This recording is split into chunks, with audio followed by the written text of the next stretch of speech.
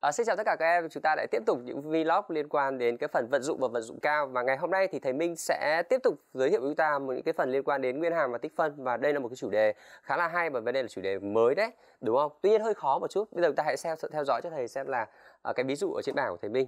Đầu tiên đó là thầy cho hàm fx liên tục trên r, hàm liên tục trên r này và có đạo hàm cấp 2, có đạo hàm cấp 2 trên r. À, tiếp theo đó là hàm fx đạt cực trị tại điểm x bằng trừ 1 và có đồ thị như hình vẽ. Đây là đồ thị hàm fx. Đây em ạ. Đây là đồ thị hàm fx nhé. Đấy. Delta là tiếp tuyến của đồ thị y bằng fx tại điểm x bằng uh, x không bằng 2. Là x không của ta bằng 2 đây và đây là đường delta. Delta là tiếp tuyến. Uh, và yêu cầu chúng ta đó là tính tính uh, tích phân y bằng là tích phân từ 0 cho đến 4 à từ 1 cho đến 4 của f 2 phẩy x trừ 2 dx. à, phương án A của chúng ta đó là y bằng 3, phương án B y bằng 4, phương án C y bằng 2 và phương án D y bằng 1. Được chưa? Nào, ok mình bây giờ chúng ta bắt đầu xem. À, có rất nhiều người bạn mà thầy dạy trực tiếp thì các bạn gặp bài này các bạn không làm được. Các bạn bảo là đây là cái dạng rất là mới mà chúng em chưa nhìn thấy bao giờ cả. Mà tuy nhiên thì chúng ta hãy theo dõi rằng bài này không phải là bài quá khó đâu mà chúng ta phải tập cái cách chúng ta tư duy để chúng ta xem xem là à, với những cái phần giả thiết đầu bài người ta cho như thế này thì chúng ta sẽ xử lý bài toán như thế nào. Chúng ta hãy xem cái phần phân tích nhé. À, ờ, trước hết là chúng ta sẽ xem phân tích này. À, phân tích đầu tiên của chúng ta đó là um, điều kiện cho hàm fx là liên tục trên r và có đạo hàm cấp 2 thì để tồn tại cái tích phân này thôi. Được chưa? Cái thứ hai đó là gì nhỉ? Điều kiện hàm số đạt cực trị tại điểm x bằng trừ 1. À, ờ, chúng ta lưu ý thầy này, điều kiện cực trị tại điểm x bằng trừ 1 mà do hàm này là hàm liên tục đúng không? Hàm số liên tục, hàm fx là hàm liên tục và đạt cực trị tại điểm x bằng trừ 1 thì chúng mình có nhớ rằng là cái điều kiện để hàm này đạt cực trị tại điểm x bằng trừ 1 đó là gì không? Đó chính là đạo hàm cấp 1 tại điểm x bằng trừ 1 sẽ bằng mấy đây? Sẽ bằng 0. Đúng chưa? Như vậy cái đầu tiên mà chúng mình sẽ suy ra được đó là à chúng ta sẽ có ngay đó là thầy viết luôn ở bên này nhé. Đây thầy phân tích luôn bên này. Đó là chúng ta sẽ có là f phẩy tại điểm trừ 1 là sẽ bằng gì đây? Bằng 0. Đây là cái đầu tiên chúng mình có. Đúng chưa? Thầy đặt cái chỗ này là số 1. Ok, bây giờ chúng ta tiếp tục đọc đồ bài này. Chúng ta thấy là à, hàm này có đồ thị như hình vẽ và delta là tiếp tuyến của đồ thị tại điểm x0 bằng bao nhiêu đây? Bằng 2. Được chưa? Như vậy chúng ta nhớ cho thầy là tiếp tuyến của đồ thị y bằng fx tại điểm x0 bằng 2 thì chúng ta có nhớ cái công thức tiếp tuyến của cái đồ thị hàm số f tại điểm có hoành độ là x0. Có nhớ công thức như thế nào không? Ừ, khi đó chúng ta sẽ có ngay nhé. Nếu chúng ta nhớ công thức tiếp tuyến thì chúng ta sẽ viết ra ngay đó là gì nào? À, đó là chúng ta sẽ có là uh, cái uh, phương trình tiếp tuyến delta sẽ có dạng đó là y bằng uh, f phẩy tại điểm gì? 2 nhân với x trừ đi 2 cộng với f nào, em có hiểu công thức này không? Đây chính là công thức phương trình tiếp tuyến tại điểm x thì. Đúng không? Và cái f phẩy tại 2 này chúng ta hiểu rằng đấy chính là hệ số góc của cái tiếp tuyến đúng không? Đấy và bây giờ thì thầy sẽ viết lại như sau.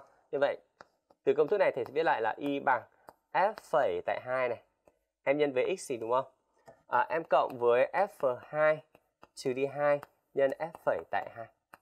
Đấy. À, tại sao thầy viết như thế này? Thầy viết như thế này mục đích là thầy viết nó giống như có dạng là y bằng ax thì cộng với b ấy, đúng không? Đây là a, a chính là cái hệ là cái f phẩy tại hai này, b chính là cái hệ số bên này. Được chưa? Như vậy đây là phương trình tiếp tuyến delta, nó có dạng như thế này. À, sau khi tiếp tuyến delta có dạng như thế này rồi thì chúng ta hãy theo dõi trên hình vẽ một tí, chúng ta hãy nhìn như thế này. Đây, đây là đường tiếp tuyến delta, đây là tiếp tuyến tại điểm của hàm số y bằng fx tại điểm có hành độ bằng bằng 2 và chúng mình còn nhìn thấy rằng là à tiếp tuyến này nó cắt trục OX tại điểm có hành độ bằng 1, nó cắt trục OY tại điểm có tung độ bằng gì? trừ 3. Như vậy nó cắt trục OX và nó cắt trục OY thì hoàn toàn em có thể viết được phương trình của cái tiếp tuyến này là chúng ta có thể viết theo cái kiểu phương trình đoạn chắn mà chúng ta học từ lớp 10 ấy. Đúng không? Đấy như vậy phương trình tiếp tuyến hoàn toàn có thể viết ở dạng delta lại còn viết ở dạng như sau.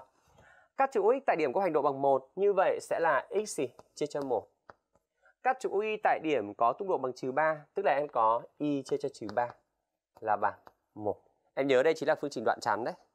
Được chưa? Và từ đó thì chúng mình rút ra nhé, chúng mình rút ra cho thầy xem nào. Chúng mình rút y ra, y sẽ bằng Em chuyển x sang bên này nó sẽ là trừ x trừ x em nhân 3 lên như vậy là 3x gì đúng không?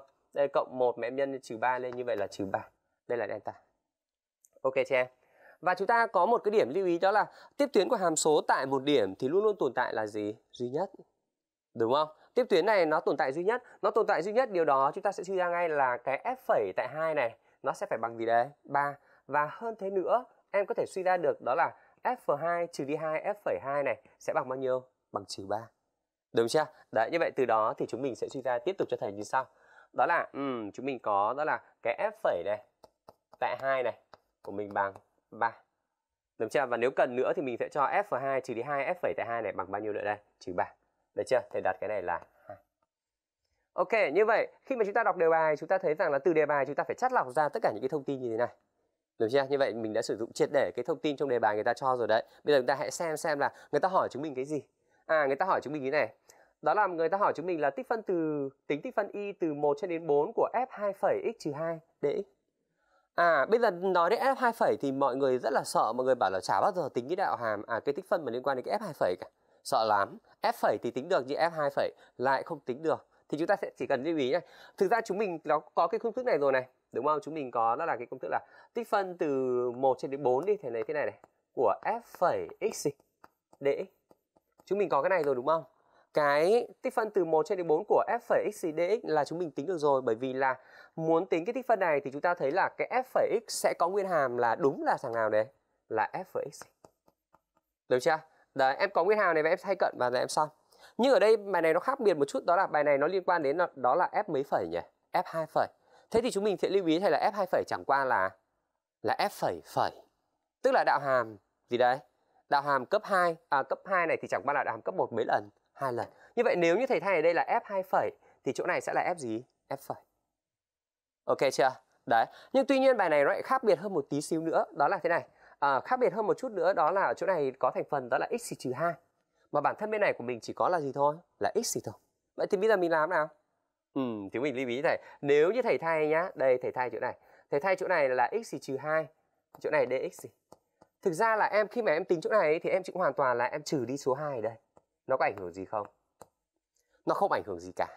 Bởi vì sao? Bởi vì chúng ta có cái nguyên hàm là f x thì dx như thế nào thì nguyên hàm f t dt cũng hoàn toàn tương tự như thế đúng chưa đấy chúng mình nhớ điều này nhá ồ thế thì bây giờ chúng ta có là ở f 2 phẩy tại x trừ 2 dx trừ 2 này thực ra thực ra chính là f phẩy của x trừ 2 nó có nguyên hàm chính là f phẩy tại x trừ 2 nào em có hiểu chỗ này không Đấy, nếu bạn nào không hiểu gì có thể uh, chúng ta có thể để lại những cái comment ở bên dưới cái video này để thầy đó uh, từ đó thì thầy có thể giải thích thêm cho chúng ta nhé.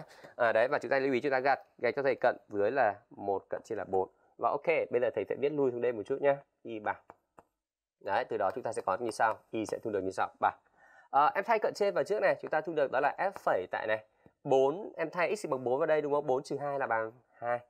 Em trừ đi này, f phẩy tại em thay x bằng 1 vào nhá 1 trừ 2 đó là bao nhiêu bằng trừ 1 ok chưa em Đấy, như vậy chúng ta thấy là ở cái tích phân y này chẳng qua chỉ là f phẩy tại 2 trừ đi f phẩy tại trừ 1 mà chúng mình đừng quên cho thầy là f phẩy tại 2 là có rồi em ạ À. từ đẳng thức 2 đúng không? Chúng ta có f tại 2 là bằng gì đấy? Bằng 3 rồi.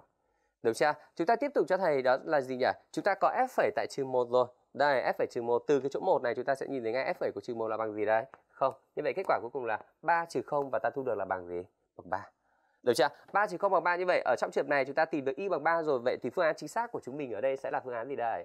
Phương án A được chưa? Như vậy bài này khá là bất ngờ. Bất ngờ ở chỗ đó là uh, mới đầu mình đọc cái đầu bài này mình thấy rằng ủ chả nhìn thấy bao giờ cả. Tuy nhiên nếu chúng ta khai thác kỹ, ta phân tích kỹ giả thiết uh, tất cả những cái mối liên quan của cái giả thiết thì chúng ta sẽ thấy rằng đây là bài tập rõ ràng không khó đúng không? Và chúng ta sẽ thấy là cái cách chúng ta xử lý đây nó rất là đơn giản. Dựa trên cái điều kiện về cực trị, dựa trên cái phương trình tiếp tuyến, chúng ta suy ra được à, và dựa trên cái cái phần đó là cái gì đây? Cái cách tính nguyên hàm như thế nào, tích phân như thế nào, chúng ta đã suy ra được là kết quả của tích phân thu được là bằng gì? Bằng ba các em đã hiểu bài này chưa? Đấy, các bạn có thắc mắc gì hoặc chúng ta có những cái chủ đề nào khác mà chúng ta muốn thầy Minh giải đáp thì xin mời chúng ta hãy uh, để lại comment ở bên dưới và thầy Minh sẽ cố gắng làm những vlog tiếp theo để uh, cho chúng ta có thể hiểu được hơn về các vấn đề liên quan đến cái phần toán